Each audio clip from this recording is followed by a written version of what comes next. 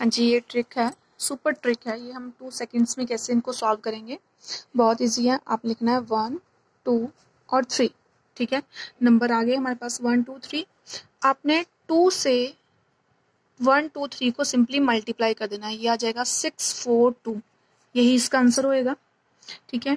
अब नेक्स्ट हमारे पास ये आ रहा है, ये नंबर तो हम क्या करेंगे? लिखेंगे one two three and four अब थ्री को आपने वन टू थ्री और फोर से सिंपल मल्टीप्लाई करना है ठीक है?